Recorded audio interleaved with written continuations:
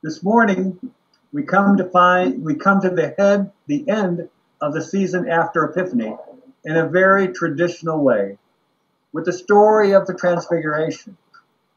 For some reason, whether whenever I read about Peter, James, and John standing on the mountain with Jesus, I start thinking of my beloved western South Dakota. Not so far, not so much the East River, as we call South Dakota east of the Missouri River, but West River, the land to the west of the Missouri River.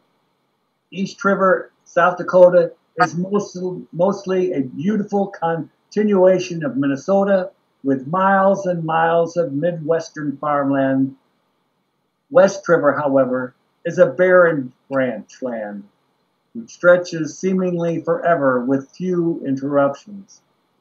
Some of you old timers, you old time Episcopalians rather, may remember back into the 1990s when Alabama was in companion relationship with South Dakota.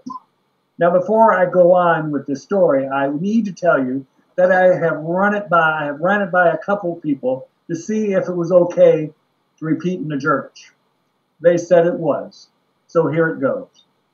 While Reed and I lived in South Dakota, every couple years we would drive home to Alabama to be with her parents.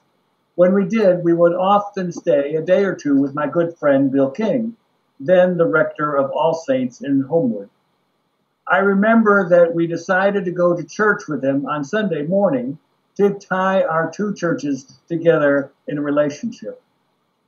The service was going great until they came to the prayers of the people. During those days, it was popular to include the South Dakota cycle of prayers in Alabama and in their prayers at, on Sunday. So the congregation began to slowly go down a list of churches and towns in South Dakota for that particular week. Well, they did a real good job of it until they came to Slim Butte, which they all pronounced out loud as Slim Butt. Reed and I nearly fell off our pews and laughed they didn't even blink an eye. Now, many of South Dakotans do pray for slim butts, but I knew that it wasn't what All Saints was collectively praying for that Sunday. At least I don't think so. They just went off on they just went on as if nothing happened. But I could tell you slim butt, but I couldn't get slim butt off my mind as I giggled to the end of the service all along the time with Rita jabbing me in my ribs to stop and be quiet. Now, I should tell you, if you haven't seen one before, buttes are one of God's most majestic and marvelous creations. They just kind of sit out there, miles away from anywhere and anything, a guardian to the plains which stretch out below them, still and silent. Perhaps the most famous butte in all South Dakota jets out from the Black Hills and into the high plains near Sturgis, South Dakota. You may remember this, that Sturgis, uh, Sturgis is the home of the famous Harley Davidson motorcycle rally in August. Most of the motorcycle people don't bother traveling over to Bear Butte. But Bear Butte is important and it's unique because it's the holy mountain of the Lakota people.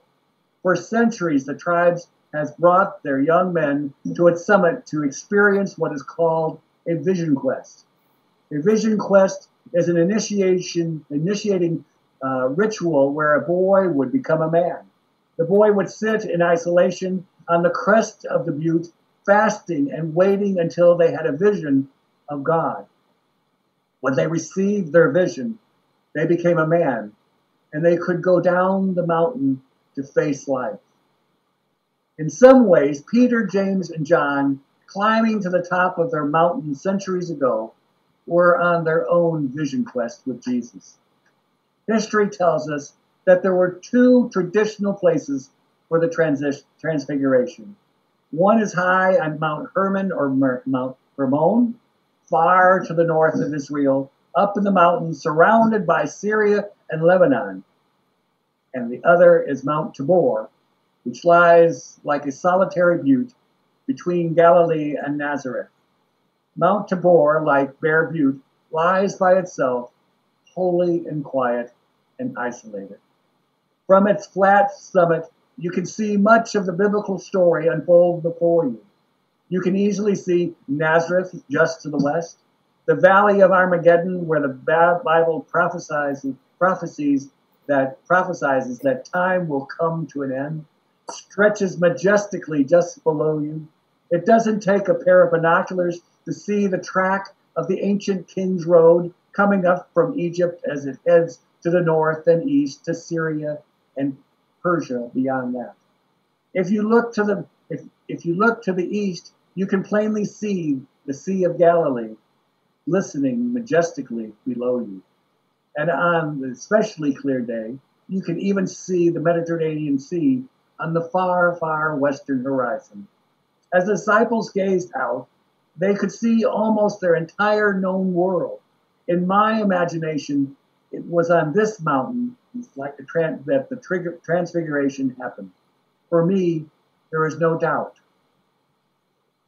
Into this silent, majestic, holy moment, those three disciples would have had would have a magnificent vision which would change their spiritual identity forever.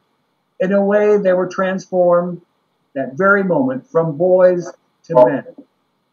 As they looked up, standing before them in the whiteness, whitest clothing imaginable, imaginable, they saw Jesus along with the central figures of their Jewish faith. Yeah, got, I mean. Moses uh, and Elijah brought them face to face Right, so you're not, Paul and Elijah the prophet who brought them and called them for justice and mercy. Here they were. We call them transfigured. And no doubt Peter, James, and John were forever changed. In Peter's kind of crazy, spontaneous way of thinking, he knew he had to do something to mark this sacred spot. So he came up with the idea that he would place a marker, a booth, as to what it was, as, as it was called back then, to be a permanent marker to tell the world what he had seen. I guess it was as good as any of idea. Our Bear Butte, on Bear Butte, the young men didn't leave booths when they left. When they when they would leave, when they left, they would leave feathers to mark the spot to mark the spot where they encountered the holy. They understood the desire to leave nothing behind to commemorate what had happened. All, as I thought about it, it came to me that this is a very human thing to do. It's kind of like young lovers on Valentine's Day carving their names on a tree for eternity to see. Next, we need to notice that after all they had seen, Peter, James, and John weren't permitted to stay on the Mount Tabor. No, Jesus gently led them back down to the reality of the valley which lay below. Perhaps I thought they couldn't stay on the mountain because of their own journeys were only now set to begin. And because of the transfiguration, they now had built a built in compass to steer them, even though they still made some huge mistakes. We also must come down the mountain from the mountaintop vision quest experience.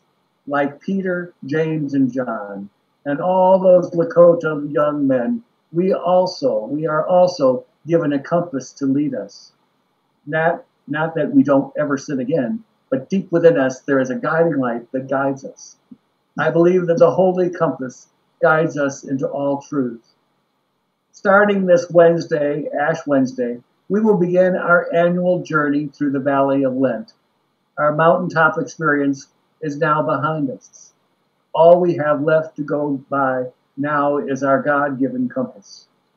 Our 40 days of Lent are not meant to be merely a time to mourn our sins, which are many, but a time and a moment etched in time to discover once again what we left behind on that majestic holy mountaintop, and then to cast a weary eye on what is ahead. Our Lord does not abandon us even during our purposeful walk through the valley of Lent.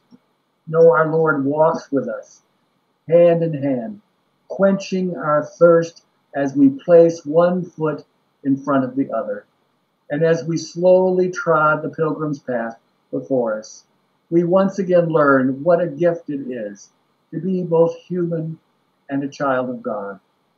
Our path is the way which leads from transfiguration through the valley to the crucifixion and ultimately ultimately brings us to resurrection.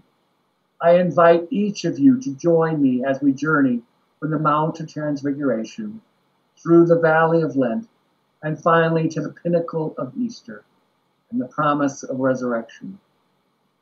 Join me, won't you? Oh, the things we'll discover on the way. I promise you, it will be amazing. Amen and hallelujah.